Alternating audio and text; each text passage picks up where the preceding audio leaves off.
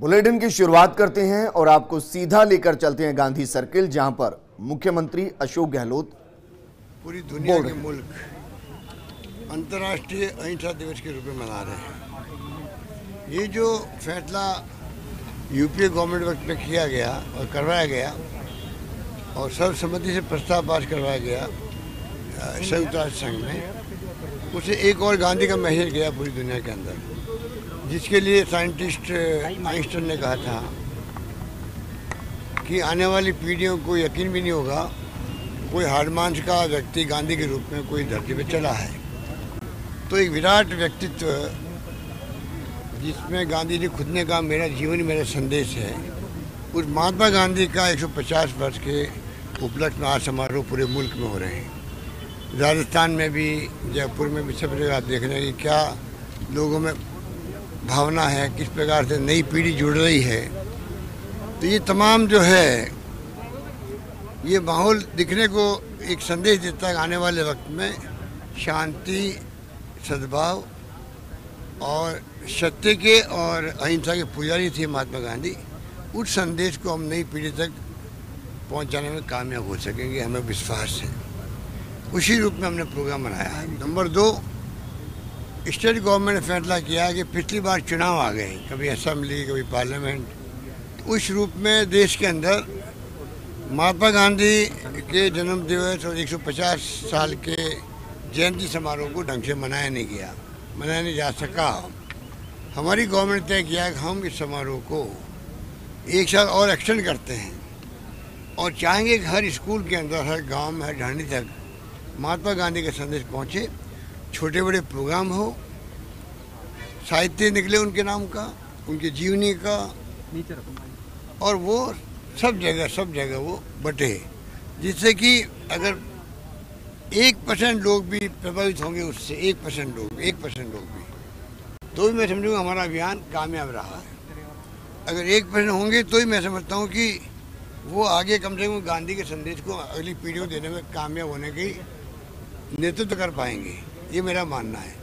बाकी कितने होते हैं, प्रभावित टाइम बताएगा। पर आज जो देश में माहौल है, घृणा का, नफरत का, भय का, उसे छुटकारा मिलना बहुत आवश्यक है देश को। आज लोकतंत्र खतरे के अंदर, हम कहते हैं, उसके मायने हैं। दुर्भाग्य इस बात का कि नरेंद्र मोदी जी ने, आरएसएस ने, बीजेपी ने सबने महात्मा गांधी का नाम लेना शुरू कर दिया। तो मैंने कहा, भाई, आपने सत्तर साल तक नाम नहीं लिया उनको। ना महात्मा गांधी का लिया, ना सरदार पटेल का लिया। अब आप दस पंद्रह साल से नाम लेने लगे हो। कोई बात नहीं। आप कम से कम देश से माफ़ी मांगो कि हम सत्तर साल तक समझ नहीं पाए कि महात्मा गांधी का विराट व्यक्तित्व क्या था। सरदार पटेल का क्या कॉन्ट्रीब्यूशन था, हम समझ नहीं पाए थे। इसलिए हमने गलती कर दी।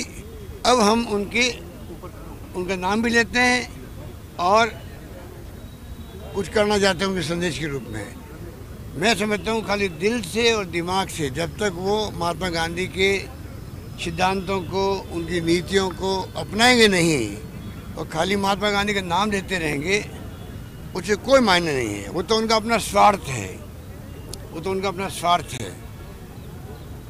अगर उनमें ईमानदारी है और महात्मा गांधी और सरदार पटेल के लेके उनके, उनका जो भावनाएँ थी देश के लिए कि सभी धर्म के लोग, सभी जाति के लोग, सभी वर्ग के लोग कोई छुआछूत नहीं हो, भेदभाव नहीं हो।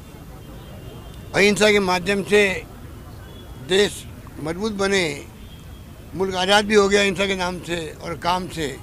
तो ये भावना उनकी थी, ये जब तक तो उसको नहीं अपनाएँगे, आज देश में भय है, वो गांधी के असूलों के खिलाफ है। आज देश में आक्रोश है, हिंसा है तो गांधी जी के खिलाफ थे। ये तमाम फैसले इस सरकार को करने चाहिए तब जाकर के वो असली हकदार होंगे गांधी का नाम लेने के लिए मेरा मानना है। जैसा आपने खुद गांधी सेवा ग्राम में वर्धा में और जगह जगह गांधी दर्शन साहित्य का अध्ययन किया। आज मैं बचपन में पचास साल पहले जो गांधी जी का आश्रम था सेवाग्राम वहाँ मैंने पंद्रह दिन बिताए हैं। उस वक्त से मैंने देखा है कि गांधीयन जो छोटे वाले लोग हैं उस वक्त विनोद भावे भी ज़िंदा थे, जिन्होंने कहा था, जय जगत। तो महात्मा गांधी है या विनोद भावे हैं? इनकी सोच इस देश की सीमाओं को तोड़ करके पूरी दुनिया के लिए थी, पूरी दुनिया के अंदर शांति, सद्भाव, भाईचारा बने। और जगत की जय हो, विश्व की जय हो, ये उनकी भावना थी। तो मैं समझता हूँ कि नई पीढ़ी को आने वाले वक्त के इस देश को संभालना है। अगर नई पीढ़ी गुमराह होगी जो गुमराह करने का प्रयास किया जा रहा है सोशल मीडिया के माध्यम से तो ये देश बर्बाद हो जाएगा। देश एक अखंड नहीं रहेगा। इसलिए इंदिरा गांधी ने जान दे दी पर खालिस्तान नहीं बनने दिया। सर आपने तो पहले राजीव गांधी शहीद हो गए देश एक अखंड रहा। बल्कि पाकिस्तान की जो हरकतें थी उसके कारण से जो विद्रोह पैदा हुआ बांग्लादेश के अंदर तो पाकिस्तान के दो टुकड़े करवा दिए और अलग बांग्लादेश बनवा दिया। और 93,000 उनके जनरल कर्नल मेजर सैनिकों के हथियार से उनको सरेंडर करवा दिया इंदिरा गांधी ने। तो एक तरफ़ तो ये स्थिति है और दूसरी तरफ़ जो राजनीति हो रही है वो आप देख रहे हो कि कोई बेस नहीं कोई इश्यू नहीं अर्थव्यवस्था बर्बाद हो रही है हमारी। नौकरियाँ नौजवानों की लगनी तो छोड़ दीजिए। जारी लगी हुई नौकरियाँ हैं। पूरी जनता सरकार को नहीं है। तो ये मैं समझता हूँ कि ये हाई टाइम है पूरे देश के लोगों को नई पीढ़ी को सोचना पड़ेगा सच्चाई किसके पक्ष के अंदर। अमेरिका में प्रधानमंत्री जी ने खंडन नहीं किया राष्ट्रपिता बोलने पर अमेरिका में खंडन नहीं किया कार्यकाल का परीक्षण है। प्रधानमंत्री जी ने खंडन नहीं किया अमेरिका में राष्ट्रपिता उन्हें बोला कल मैंने कहा था कि जब मिस्टर ट्रंप मोदी जी को नरेंद्र मोदी जी को राष्ट्रपिता घोषित कर रहे हैं तो कम से कम नरेंद्र मोदी जी को चाहिए था नरेंद्र मोदी जी को चाहिए था कि वो जिस महात्मा गांधी को लेके अभी आज पंद्रह बीस साल में जो इन्होंने शुरू किया है, उनसे प्रेम जागृत हुआ है। अगर दिल से प्रेम जागृत होता, दिल से अगर प्रेम जागृत होता गांधी जी के प्रति तो उसी वक्त में ट्रंप साहब को कहते, भाई कि आप क्या बात करते हो? राष्ट्रपिता तो एक ही है, देश के अंदर एक ही रहेगा। और वो है, और इनका नाम है मोहनदास करमचंद गांधी, जिसको महात्मा गांधी कहते हैं। ये कहना चाहिए उनको। वो चुप क्यों रहे? सर दो सीटों पे इस बात का मुझे एतराज़ है। सर आपने पहल भी किया प्रदेश के अंदर शांति और अहिंसा प्रकोष्ठ विभाग तो किस तरह राजस्थान में हमने शांति अहिंसा के नाम से प्रकोष्ठ बनाया है फिर बाद में डिपार्टमेंट बनेगा और उसके माध्यम से हम लोग एक साल तक गांधी जी के कार्यक्रम करते जाएँगे जो हम चाहेंगे कि गांधी जी का असली संदेश जो है वो घर घर तक पहुँचे। सर दो सीटों पर उपचुनाव हो रहा है। क्या धन्यवाद।